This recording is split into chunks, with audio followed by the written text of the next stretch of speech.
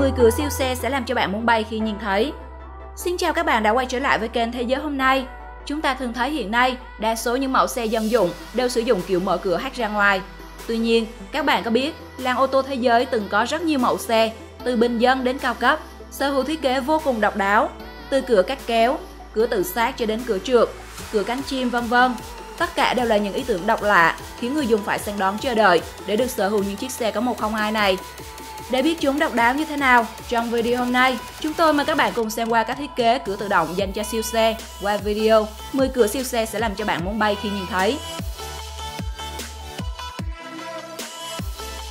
1. Yo Mobile Sliding Door Nhà sản xuất ô tô Nga Yo Auto đã mang tới triển lãm ô tô Frankfurt năm 2011 một mẫu xe có thiết kế cửa mở rất lạ. Mẫu xe này mang tên Yo Concept Chiếc xe ý tưởng sẽ không được sản xuất. Ban giám đốc của hãng xe Nga muốn phong cách mới lạ này sẽ trở thành kiểu thiết kế tiên phong của những mẫu xe trong tương lai. Như bạn thấy trong video, cánh cửa mở ra không giống bất kỳ chiếc xe nào khác mà chúng ta từng thấy. Thay vì vung ra như cửa xe của bạn, xoay theo kiểu gương quyên hướng lên hoặc thậm chí thực hiện vòng quay kỳ lạ mà bạn nhìn thấy trên cửa Koenigsegg. Những cánh cửa này trượt qua thân xe, sau đó sẽ vác chéo phía đuôi xe tạo lối vào rộng rãi và thoải mái. Trông nó rất không thực tế, nhưng cũng rất tuyệt vời phải không nào?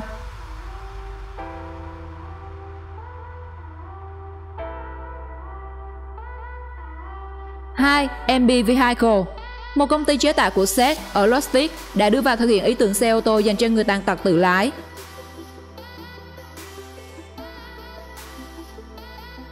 Mẫu xe có tên MB dùng động cơ của Ý với công suất 300cm khối, thiết kế nhỏ gọn với chiều dài khoảng 248cm. Người lái xe không cần điều khiển xe bằng chân, có thể chạy trên bất cứ loại đường nào, kể cả xa lộ.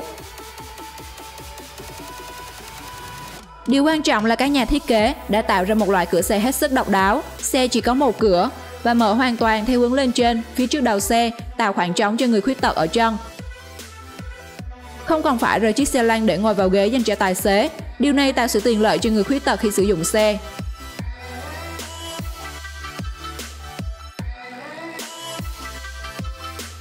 ba Koenigsegg Agera Koenigsegg Agera là một siêu xe thể thao được sản xuất bởi hãng xe hơi Thụy Điển Koenigsegg từ năm 2011.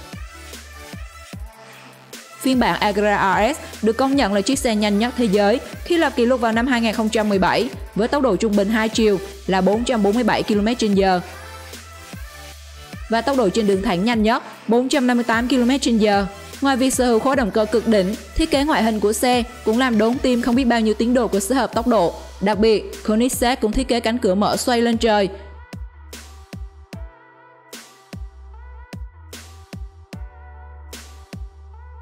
Nhưng theo cách khác Lamborghini, Ban cách sử dụng một hệ thống dẫn động nhị điện độc đáo cho phép cửa xe có thể tách khỏi thân xe, sau đó xoay theo trục chính để hướng lên trên. Thiết kế này là độc quyền của Koenigsegg.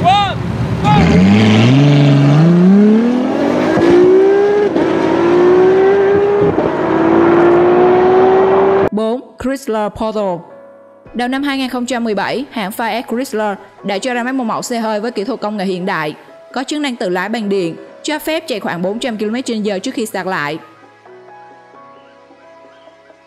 Đồng thời cũng chỉ cần 20 phút sạc để có thể chạy một quãng đường tới 250 km. Cabin rộng rãi cho 6 người với thiết kế theo kiểu phòng chờ hoặc sảnh chờ. Xe có chức năng nhận dạng khuôn mặt và giọng nói với 3 mức độ tự lái, Xe có ngoại hình khá hiện đại nhưng không quá xa xôi như một vài mẫu concept có hình dáng của xe trong phim viễn tưởng. Đặc biệt, Chrysler Portal có một cửa đồi trượt ngang mở về hai phía, trông như cửa thang máy, một kiểu thiết kế của tương lai mà chúng ta chưa được nhìn thấy ở bất kỳ mẫu siêu xe nào.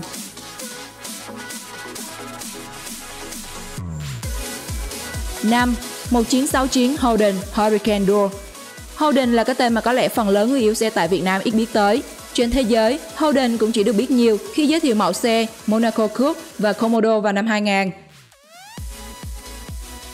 Ít ai biết rằng đây là công ty sản xuất ô tô thuộc biên chế tập đoàn GT từ năm 1931 và đã lắp ráp rất nhiều mẫu xe của GM tại Úc. Và Holden Hurricane là mẫu xe concept đầu tiên do công ty con Holden ở Australia của GM thiết kế năm 1969. Xe gây ấn tượng mạnh với mùi xe được mở lên trên bằng hệ thống thủy lực và ngã về phía trước, đây cũng chính là lối ra, vào xe. Khi mui mở, ghế điện cũng được nâng lên cao về phía trước. Khi người lái đã vào trong xe, ghế ngồi hạ xuống trước khi phòng mui xe đóng lại. Từ ngoại hình cho đến động cơ, Holden Hurricane được đánh giá là một chiếc xe đi trước thời đại.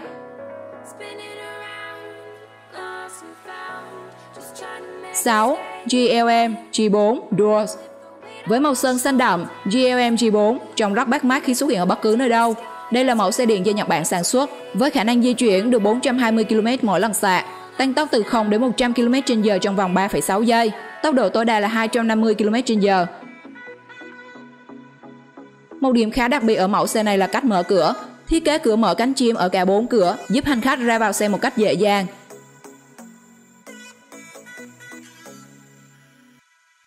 Tuy nhiên, cánh cửa sau của chiếc xe chỉ được mở khi cánh cửa trước đã mở. Ngoài ra, bậc cửa ra vào của chiếc xe được thiết kế khá cao. Điều này giúp tăng độ an toàn cho người ngồi trong xe khi chịu một va chạm từ bên hông.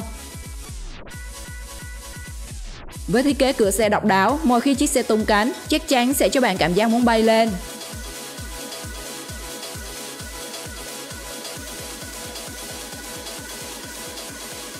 Bảy, mercedes-benz Doors Cửa cánh chim là biểu tượng nổi tiếng của dòng Mercedes-Benz 300SL.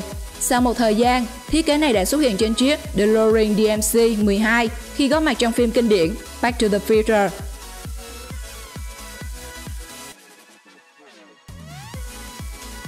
Trong suốt chiều dài lịch sử, đã từng có những mẫu xe sở hữu thiết kế đặc biệt này như AutoZam AZ1 của Nhật hay chiếc xe thể thao nhỏ gọn Melkert RS1000. Trong những năm gần đây, Mercedes-Benz SLS AMG, Pagani Huayra và Tesla Model X là những siêu xe nổi tiếng với thiết kế cửa cánh chim. Kiểu cửa này mang đến một hình ảnh sang trọng và khác lạ cho một chiếc xe hơi thay vì những kiểu dáng tầm thường. Người sử dụng loại xe này còn thể hiện được sự đẳng cấp của mình, đồng thời mang đến sự lôi cuốn khi nhìn vào.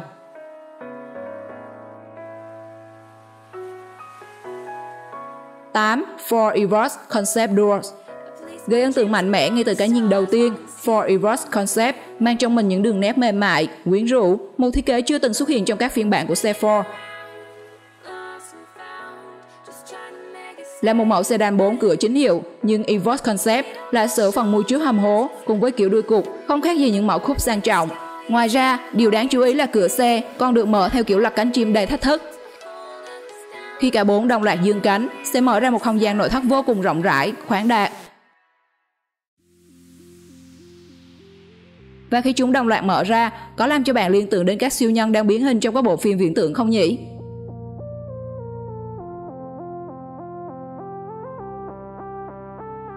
Chiến Disappearing Door Cửa trượt thường được trang bị trên xe tải nhỏ và xe buýt mini, giúp hành khách dễ dàng bước vào xe và giảm nguy cơ va vào những chiếc xe khác trong bãi đậu.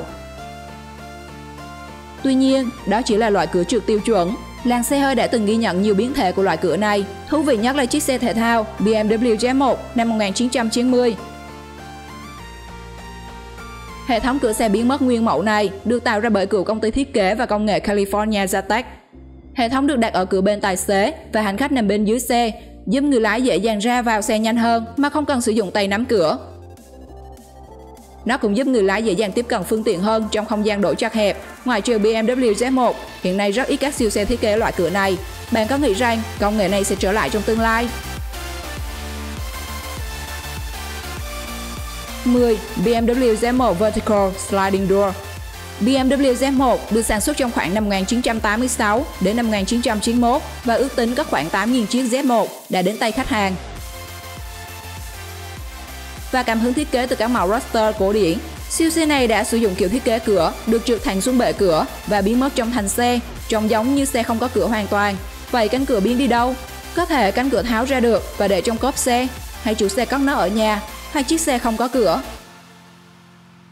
Câu trả lời là chỉ với một nút bấm trên thân xe. Cánh cửa này đã được giấu trong thân xe một cách khá tài tình và khi bạn đã ngồi vào tay lái thì chỉ với một nút bấm điều khiển, cửa xe sẽ được kéo lên một cách nhanh chóng phải công nhận là nó rất ấn tượng và đầy tính sáng tạo.